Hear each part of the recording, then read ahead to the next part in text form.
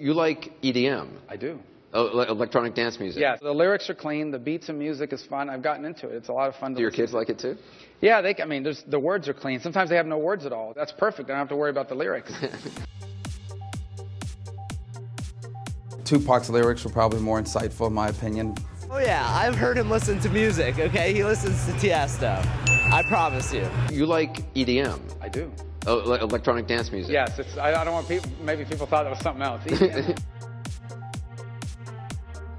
You ever been to a rave? I well, mean- no, no, I'm, I've never been to a rave. No, never been to a rave. Well, I don't know. The Republican primary ended. Well, I, uh, I mean, you, you like EDM. That's what they No, do, isn't I it? listen to it. I don't Okay. necessarily. I, I, I think I'm a little too old to be going to a rave.